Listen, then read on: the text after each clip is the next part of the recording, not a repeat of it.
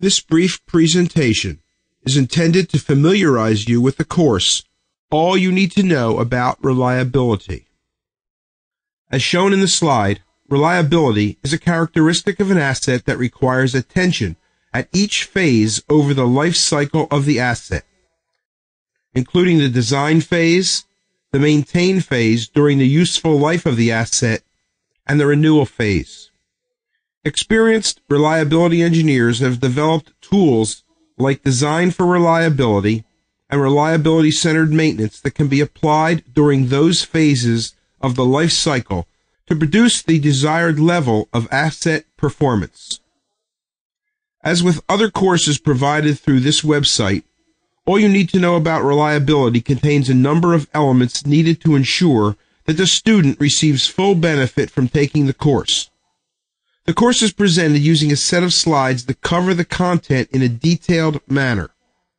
Each slide is accompanied by a voiceover narrative that provides the important details associated with each slide.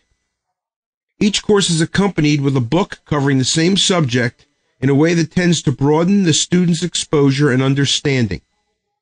Finally, each module concludes with a series of questions or exercises developed to ensure that the student has absorbed the key points and clearly grasps the objectives of each module.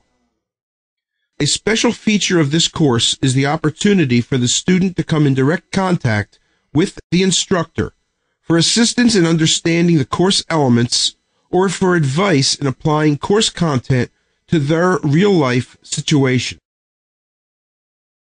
An important question concerning this course is who will benefit from taking it.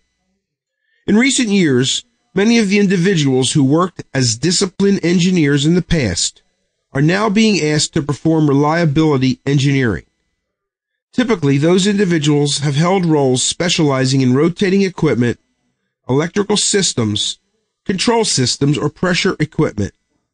While the skills obtained through years of practice working in any of these disciplines is important, those skills are focused more on functionality or integrity of the assets than on reliability. This course is intended to provide individuals with working experience in specific disciplines with the knowledge needed to address issues needed to ensure that the devices they address are reliable as well as functional and robust. In the same way that individuals who work directly within equipment disciplines have failed to focus on reliability, the individuals in the organizations surrounding those individuals are frequently confused concerning reliability. Plant managers are used to asking a rotating equipment engineer how much pressure or throughput a pump can achieve. Now the plant manager needs to ask a different question. How long will the pump survive or how frequently will it fail?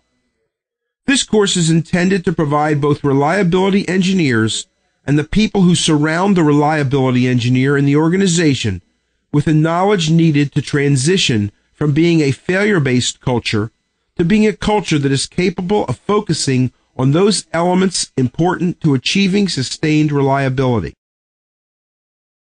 It's quite typical when individuals consider the concept of reliability that they tend to include a number of characteristics that are related to the subject.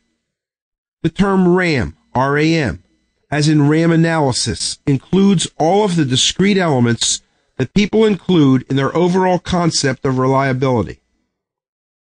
The letters in RAM stand for reliability, availability, and maintainability. While these characteristics are interrelated, they are separate characteristics and result from different elements of design and different considerations. The following definitions are useful in distinguishing the different elements of RAM. Reliability is the likelihood that a device will survive for a specific period of time. Availability is a measure of the portion of total time a device will be able to perform its intended function. Maintainability is a measure of your ability to respond to failure, and in doing so, restore the inherent reliability of an asset in a rateable amount of time. These characteristics are interrelated. For example, improvements to the reliability of an asset will also improve the availability. On the other hand, it's possible to develop an asset in a manner that the reliability is